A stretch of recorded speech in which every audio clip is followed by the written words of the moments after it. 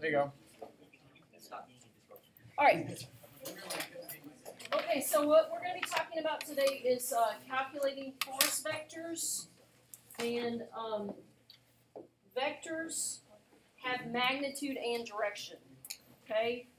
Vectors have magnitude and direction. So examples of this are position, force, and moment. And a vector notation, we usually just do one letter, and then we'll usually draw an arrow over top of it or a ray. So like in geometry, you'll see it uh, written like that. So that's how you notate a vector, okay? And so I want to give you examples of what magnitude, direction, and sense are. So anytime you draw a vector, you need to include, and this is on your notes, you need to include magnitude, you need to include its direction, and also the sense. Okay, so those are the first three blanks that you need. Magnitude, direction, and sense. Magnitude is the length of the vector. Okay, now we're going to be measuring length. It's kind of um, maybe not the best word here because we're going to be measuring force on these vectors. All right, so it's going to be whatever the force is for that particular member. Okay, now the example they gave you here, they divided this vector off into three segment segments. So its magnitude is three. So there on the, uh, right beside of your drawing, put the magnitude of that one is three. Okay, the magnitude of this vector is three. Okay, so magnitude is just how long that segment is. Okay, but in a minute, when we get to our examples, they'll be force. Alright? Alright, so direction is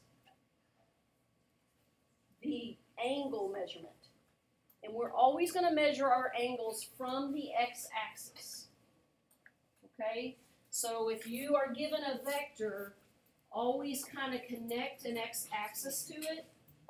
So that's our coordinate plane right there, and this is 0, 0 in the middle,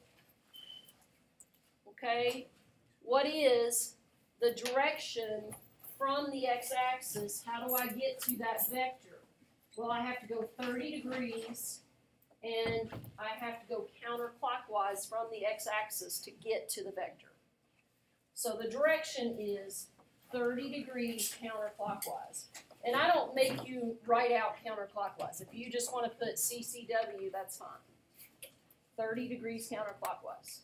So direction is the angle measurement, and then whether it's clockwise or counterclockwise. Questions so far? Everybody good? Okay. All right, then the last one. These are the two that people get confused, and even I do because I, I'm always looking these up because I get confused between direction and sense. So sense is how, what is what is the direction? Direction is the wrong word, but sense is how is that moving? Well, it's going up and to the right. Okay, so a lot of times I think of that as direction, but it, they call it sense. Sense is up and to the right.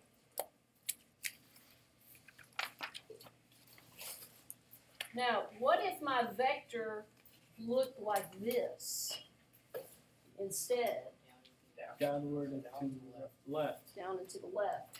And you kind of, again, want to draw like a coordinate plane, right? And on the y-axis it goes up, and on the x-axis it goes to the right.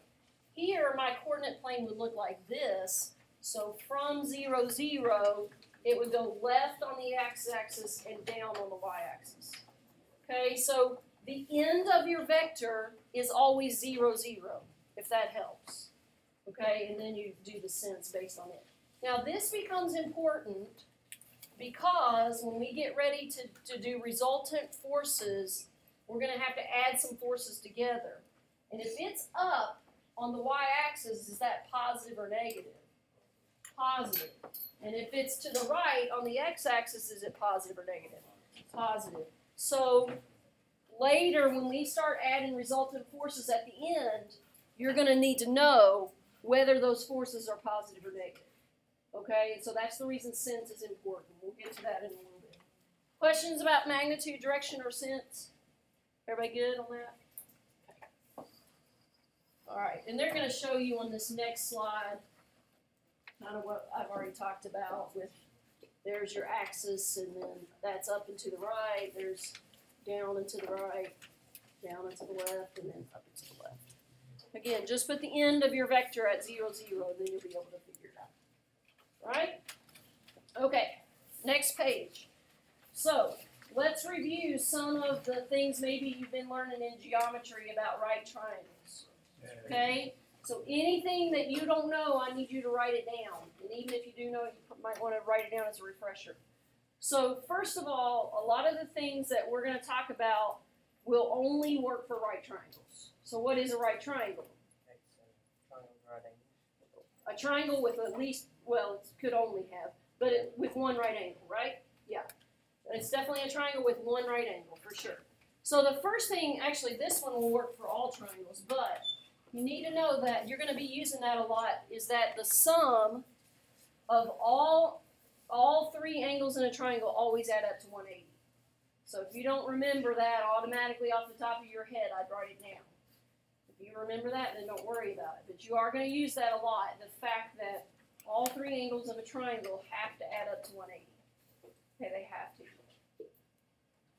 The next thing only works for right triangles, right? And you've been doing this since eighth grade for sure right? And we usually write it like this, a squared plus b squared equals c squared. That's Pythagorean theorem. Okay? Somebody remind me what a, b, and c are. The two Which legs. ones, which ones are the legs? A and B. A and B are the legs. So these are the legs. And what's this one? Hypotenuse. What is a hypotenuse? The slanted side. What, Dakota? The longest side of the triangle. It is the longest side. How can I tell which side's the longest side if they don't give me measurements? It's opposite of the right. It's absolutely opposite of the right angle. Any any side that's opposite of something won't touch it. So if this is the right angle, the side that does not touch that angle is that one. So that's the hypotenuse. Okay, it's opposite the right angle. Okay? What do A and B and C represent? I know you said legs and hypotenuse, but what about them? What? the length. These have nothing to do with angles. Okay, don't get that confused. They're the lengths of the legs and the hypotenuse, how long they are, not anything to do with angles. Okay, so we need the, to know about Pythagorean theorem. Then the next thing we need to know about, which I'm sure is all of your all's favorite, is the trig. The trig functions, right? Part. Can't skip that part. We're going to use trig functions a lot in this lesson or in this uh, project. Okay. Now, SOHCAHTOA is just an acronym of a way for you to remember the trig function. There's nothing special about it other than it's just a way to remember the trig functions. Okay. So let me explain. Um, the sine trig function, the sine of an angle is equal to the opposite side of that angle over the hypotenuse of that in relationship to that angle.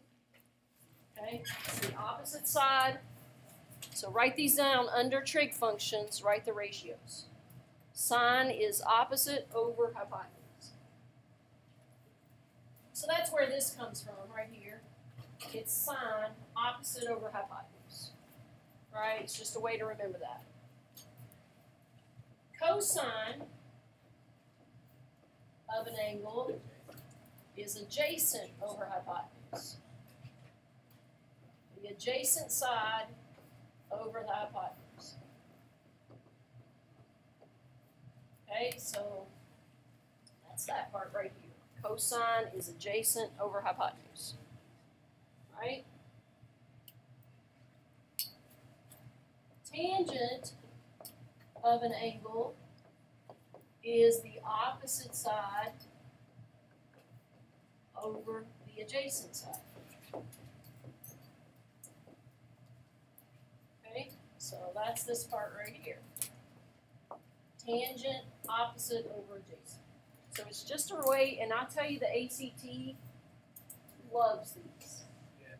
Okay, so if you can know your trig functions, it's gonna help you out in the math on the ACT. Because they love trig functions on ACT tests. Alright, so SOHCAHTOA, if you can remember that, sine opposite over hypotenuse, cosine adjacent over hypotenuse. Now, you also have listed under there how to, these three that I wrote up here are if you have an angle and you're trying to find either the opposite side or the hypotenuse. Trying to find the side. If you don't know the angle, then to find the angle, you do what's called the inverse of that. So in your calculator, you usually have to hit the second button, right? And do the inverse. So it's opposite over hypotenuse. So then to find an angle using the sine function, I would do inverse sine and then put my two sides in. And it'll tell me what the angle measurement is. Or if I want to find the angle using the cosine function, I'll do the inverse cosine, but use the adjacent side and the hypotenuse. Or if I want to find the angle using the tangent function, I'm going to do inverse tangent. Oops, I wrote that wrong. Yeah, opposite over adjacent. Try that again. Okay, inverse tangent, opposite over adjacent. Okay, okay. So inverse or the second func the second button on your calculator is to find angles. The other way, these, the ones in black, are to find sides. Okay, we're gonna do examples, so don't worry if you're like a little bit lost. Right now, I need you to just get the functions down. How many of you have had the trig already? Has everybody seen it at least?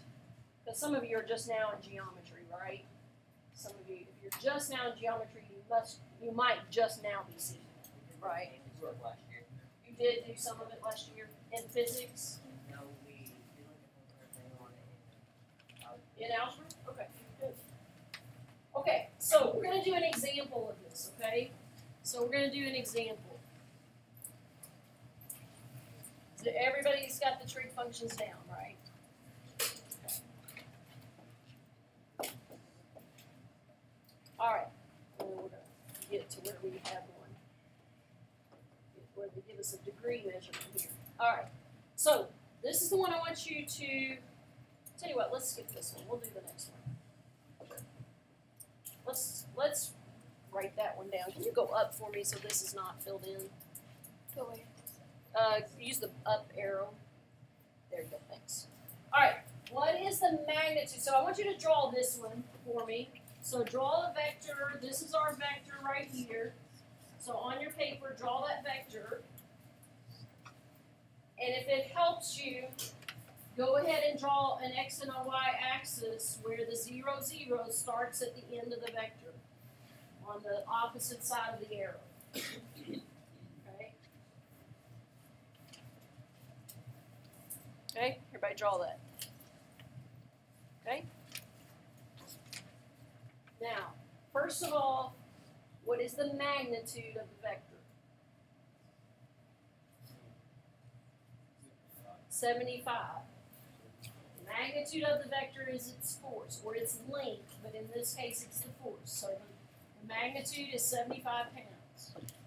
Okay, that's the magnitude. What is the direction of the vector? 35 degrees, but that's not enough. He's right, it is 35 degrees. But now we've got to say, from the x-axis, how do I get to the vector? Which way? Clockwise, yeah. It's 35 degrees clockwise from the x-axis. Everybody good so far? Okay, now, what's the sense of that vector? Down and to the right. Now, the only reason I might want you to put it the opposite way, although I usually say down or up first as well, is I don't want you to get confused about x and y, right? Because x is the right and left stuff, right? And the y is the down and up stuff, right? So sometimes if you can, get in the habit of putting it in X and Y. Because what do I know now about the X of this vector? Is it positive or negative? Positive, because to the right is always positive. What do I know about the Y component of that vector? It's negative. That's going to become important to us in a minute. Okay? So you might just get get in the habit. I know the x component is positive, and I know the y component is negative. All right. Now, all vectors, uh, everything at an angle, we're going to have to make an x and a y component to it. So we're going to draw that in over here. I'm going to draw it in red. So I want to go down and to the right. So I'm making a triangle out of that. Making a right triangle out of that. Okay? I know this one's going down. I know this one's going to the right. Okay, good so far? You know what? You could draw, and, and actually, Ethan, you're right. That would be easier to draw it up there. That way, we don't have to find that other angle. Let's redraw it. Uh, Ethan wants me to draw it over here. I said, What? I guess you're, that, that was. I think either way. Um, so let's let's start here. Does everybody know why it would be easier to draw it up here? Yeah, this angle we already know. This one would have been 55, right? Because 55 was 35. But if you don't want to find it, then you could draw it up there instead. So that's still to the right and down, right? Okay, so we would still be okay. That'll help us just not have to figure out something else. Not that it's hard, but we don't have to. Okay, so what we're going to do now is we're going to find these other two sides, or these components of that vector, the x component and the y component. Doesn't matter which one you find first. So let's just find the x first. We're going to find that side. Okay? Here's our angle that we know. That, that angle right there is 35 degrees. Which trig function should I use to figure out that side? Oh, let's let's stop just for a minute. This 75 pounds. Which side is it? Hypotenuse. That's the hypotenuse. If you want to, if you want to label that one, that was the hypotenuse. So we know the hypotenuse. So we know we can't use tangent, right? Because tangent does not have hypotenuse in it.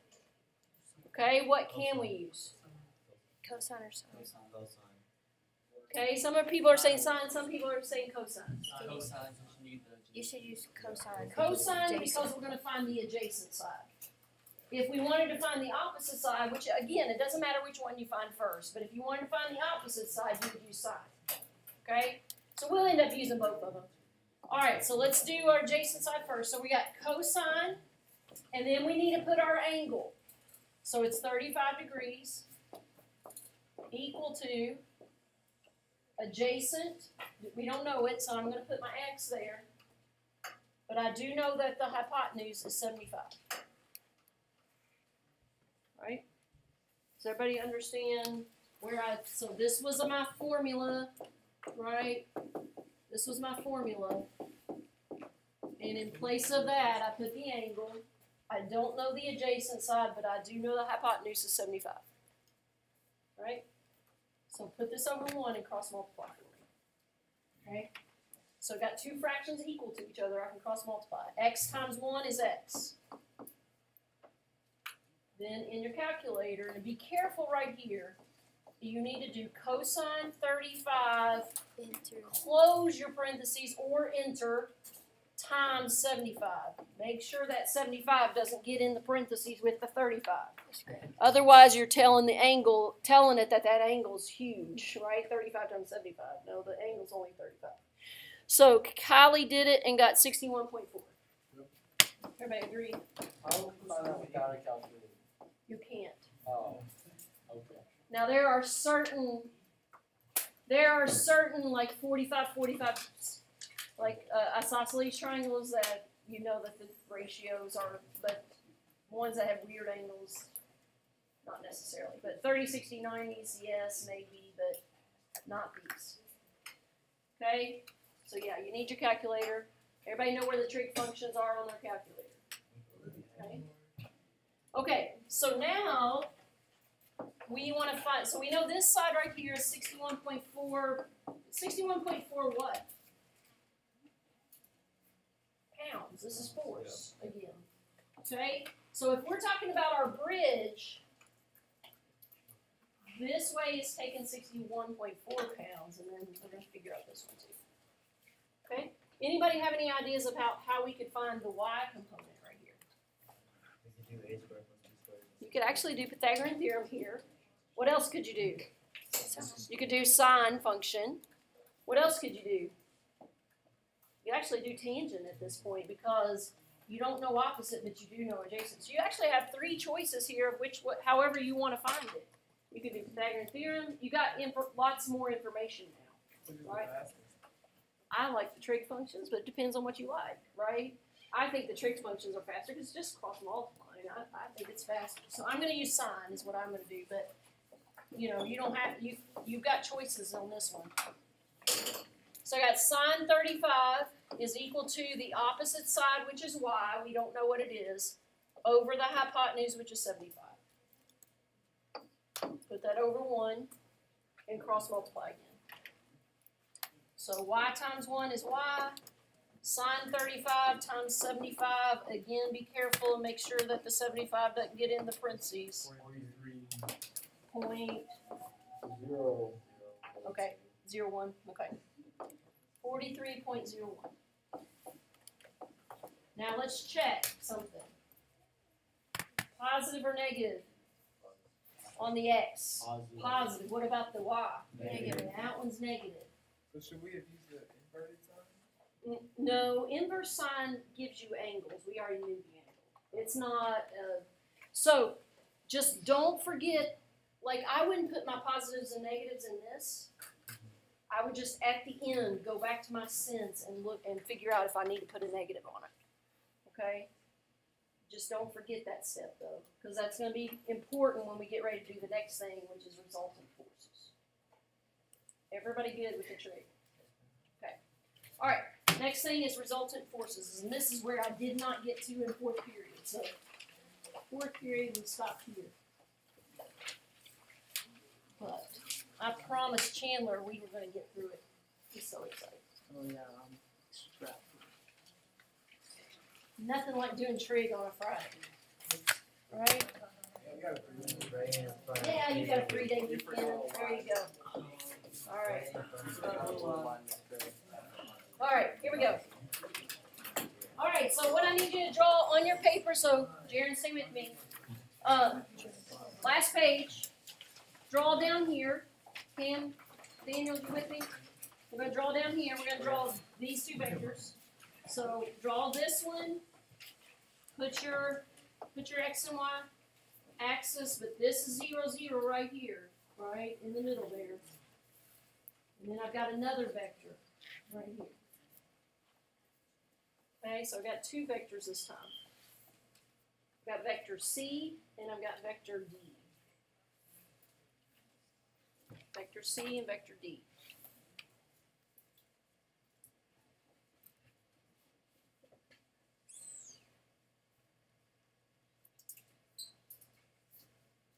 All right.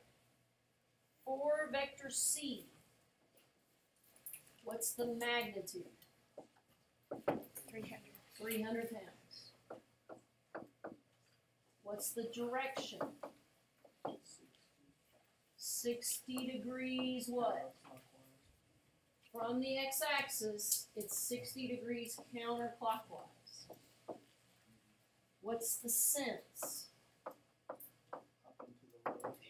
Yeah, right and up. So will those be positive or negative? Both of them? No. Yes, both of them, both of them. Danny thought I was trying to trick him. No, they're both gonna be positive. Right is positive and up is positive. Okay, But down is a positive. true. Okay, what about D? What about its magnitude? Four hundred pounds. What about its direction? Thirty-one pounds. Thirty clockwise this time. And what about its sense? Down and to the right, or right and down. Right, my board is not apparently letting me put a G there. Right and down, so what about that, positive or negative? Positive. Positive, negative, so the X will be positive, the Y will be negative. Okay, so far so good, we got magnitude, direction, and sense. Again, that one was clockwise because to get to the x-axis, sorry, to get from the x-axis to the vector, we had to get, we had to go clockwise. If you think about it, you could just think of it as a clock. Yeah, absolutely. So this is the clock this way, which I know clocks are like a thing of the past, right? But still have to know them. The old hand clocks are a thing of the past. Yeah. No, we actually do each one separately. Yeah, we don't do these. Alright, stay with me. I've got, I gotta finish in eleven minutes. You guys good? Alright, so what we're gonna do is we're gonna, we're gonna, each one, we said up and to the right, didn't we? If this is our, if this is our axis. Okay, so I'm gonna draw my triangle like this, to the right and up. And this angle, was it sixty? Okay. So this three hundred pounds is which side? It's, it's here, the hypotenuse. Okay, this is my y component, this is my x component. Doesn't matter which one you find first. Let's just find x first. Which trig function am I gonna use to find x? This time. Cosine. Guys, if this side touches your given angle, it's the adjacent side, so it's gotta be cosine, okay? So we're gonna do cosine sixty equal to x over three hundred this time. My hypotenuse is three hundred. So x is equal to whatever cosine sixty times three hundred is. One fifty. Hundred fifty. Hundred fifty pounds.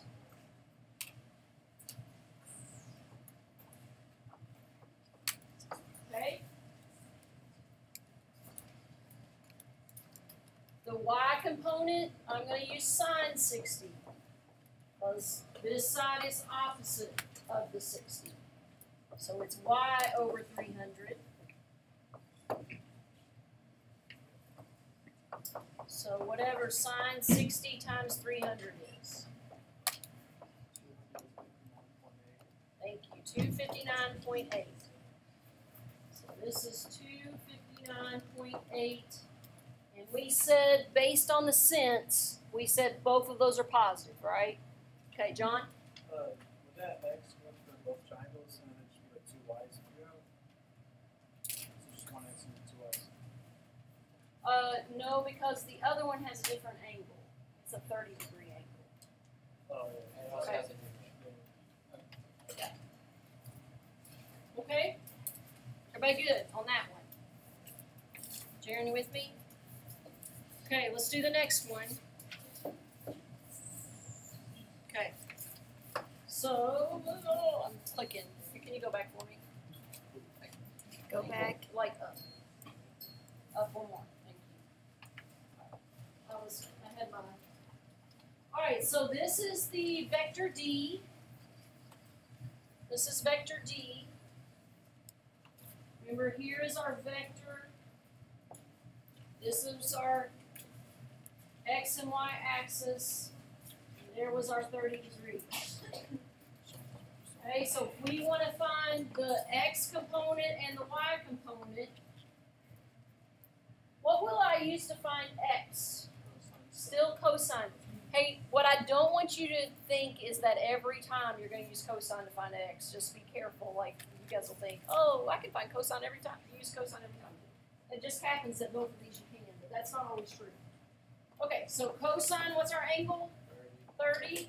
What's our hypotenuse this time? four hundred is our hypotenuse this time. Three forty-six point four. Okay, so cross multiply.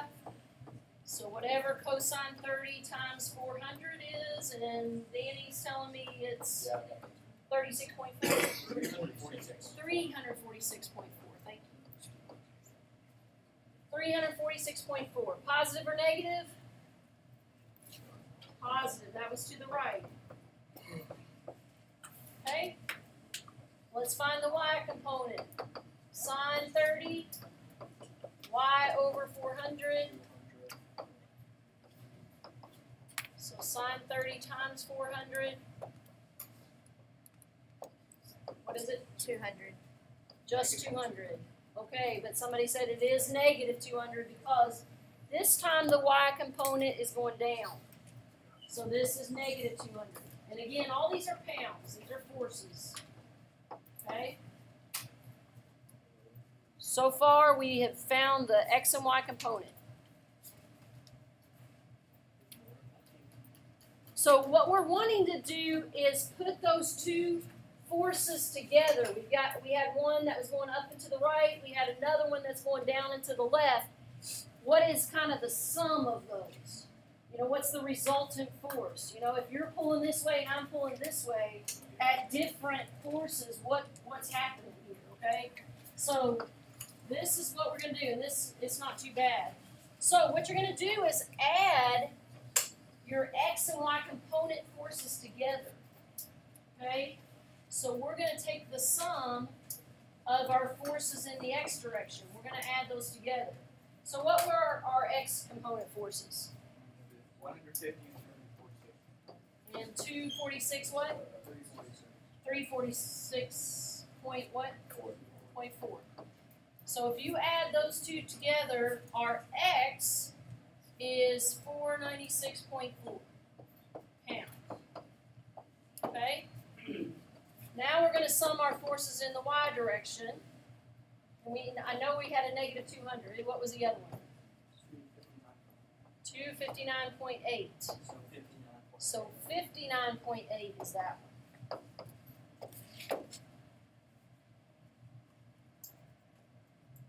Okay? Not too bad so far. Now we gotta measure, now we've gotta draw a new triangle. With this is our legs now, right? This is X and Y. What do we not know this time? The hypotenuse, we don't know it, and we don't know the angle either. You're right. Okay? You guys got those numbers? Cause I'm about to erase those. Yeah. Alright, so draw a right triangle. Uh, both of them were positive, so what do we know about this vector? Up and to the right, we know that. So we got this and this going on, right? The x was four what? Four ninety-six point four. Four ninety-six point four, the y was fifty-nine point eight. So what's the magnitude of this vector? How could we figure that out?